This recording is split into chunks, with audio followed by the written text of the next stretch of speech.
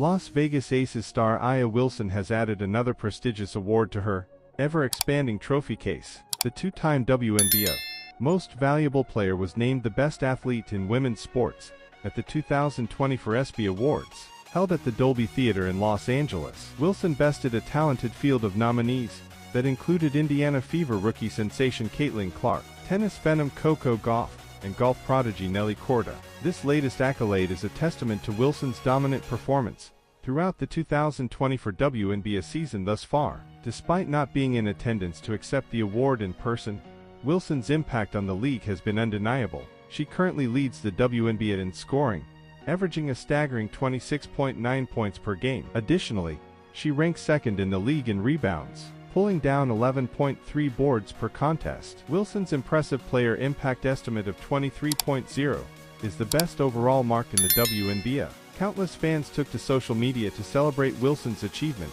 with many acknowledging her well-deserved recognition. One fan commented that Wilson's win was well-deserved, while another noted that A'ja is a better player for now. That could change next year. Shocked Caitlin fans didn't come out stronger. Even some Caitlin Clark supporters agreed that Wilson's award was a no-brainer. One fan, while hoping for a Clark victory, did not disagree with the result, stating, How can anyone be mad that A'ja did? She's amazing in her own right. Well deserved. Congratulations. The 2024 ESPY Awards have once again highlighted the incredible talent and dominance of A'ja Wilson, solidifying her status as one of the premier athletes in women's sports. As the WNBA season continues to unfold, fans will undoubtedly be eager to see what other accolades Wilson can add to her growing collection.